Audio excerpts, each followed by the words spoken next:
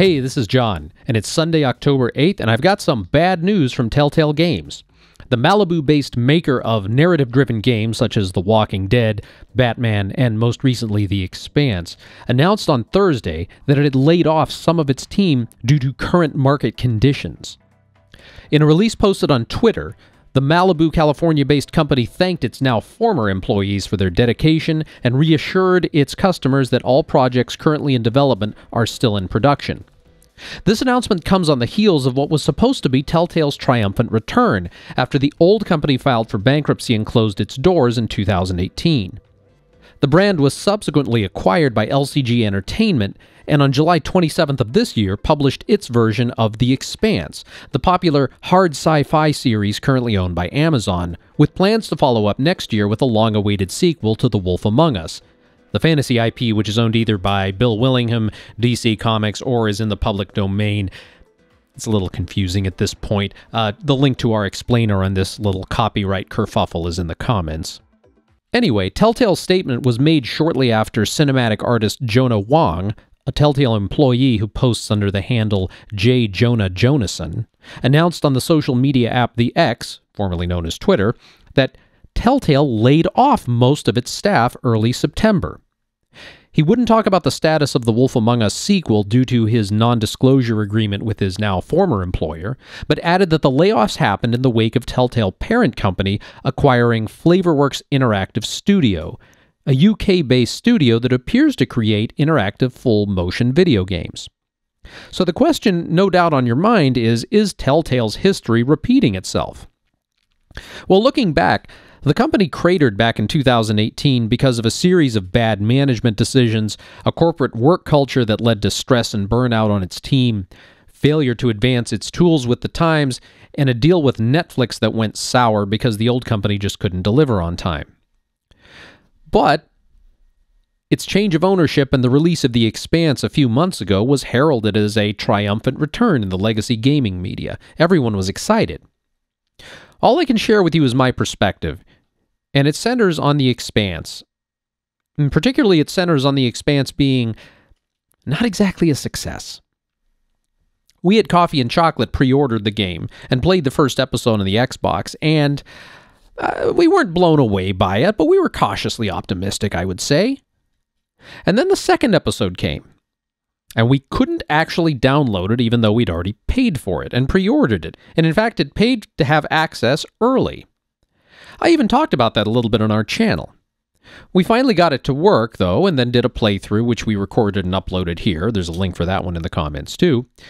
And, well, our thoughts were a bit mixed. The interactivity wasn't that engaging. There were some quick time scenes you had to maneuver through, but that revealed to us that the controls were a bit fussy in the first place. And overall, episode 2 left us kind of wanting more. The whole thing was a big fetch a bunch of objects quest. There was a romance option with a character named Maya, but quite honestly, it didn't quite fit in with how we were playing things with Drummer, the main character, so we didn't even explore that just because of the way we were role playing it. Um, and at the end of the day, a two hour playthrough for a single episode for really just a bunch of fetch scenes and a quick time event, and no real major choices that really impacted the game, it was kind of weak, we thought.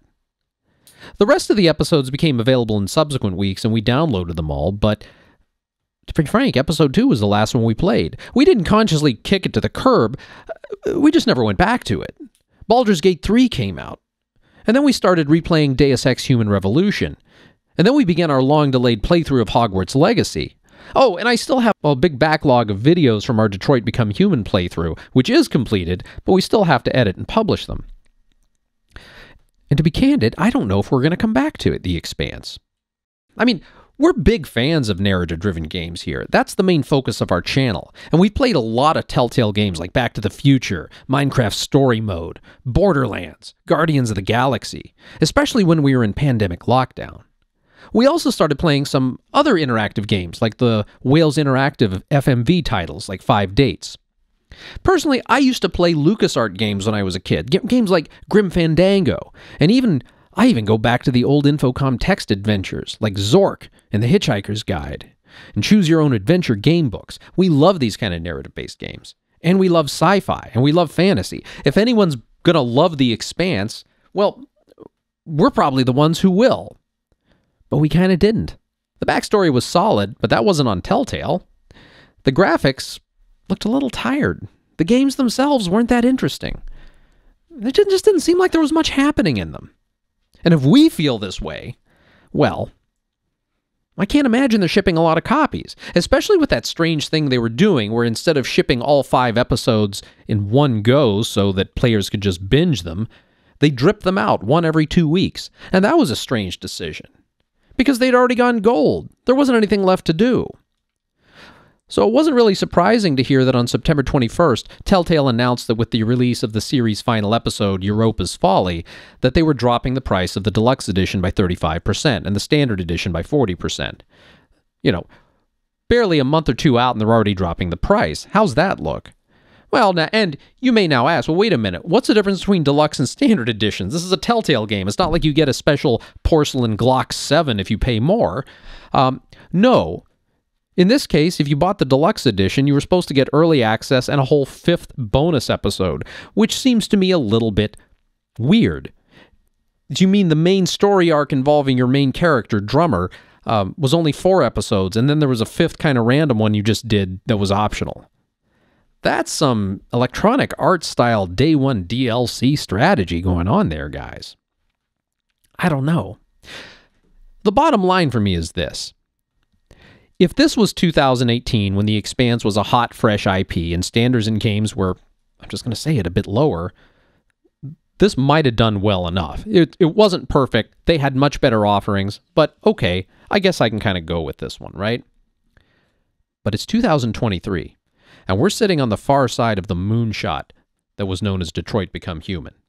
And whatever you want to say about that game, it's a polished, enjoyable, thought provoking story with a branching narrative that rivals one of my all time favorite choice driven games, the decade old and very unrelated Alpha Protocol. And if anyone who knows me knows that that's high praise indeed. We actually played Detroit Become Human and Expanse back to back a little bit. And let me tell you, Expanse can't touch Detroit. Not the acting, not the story, not the graphics, and not the overall narrative structure. And then when you throw in that The Expanse was released in the summer with AAA titles launching left and right, starting with Hogwarts, Starfield, Baldur's Gate 3, Final Fantasy, the list goes on and on and on. I guess I can kind of see why they had some problems, huh? So that brings me to this acquisition that Jonah mentioned of Flavourworks. Flavourworks is also an FMV, a full motion video shop. They apparently published a thriller called Erica for iOS, PlayStation 4, and Windows machines back in 2019. I personally had never heard of it until now. Might give it a try in the near future. But it's interesting that Flavourworks was purchased right before these layouts. It's a suggestion that Telltale's future direction might just be with more FMVs. It's certainly a suggestion that Telltale's future direction might be changing a little bit. They might be heading more toward FMV games than traditional animated games that they've been creating. At the very least, it sounds like management is aware that there's an issue and they're trying to do something to change things up.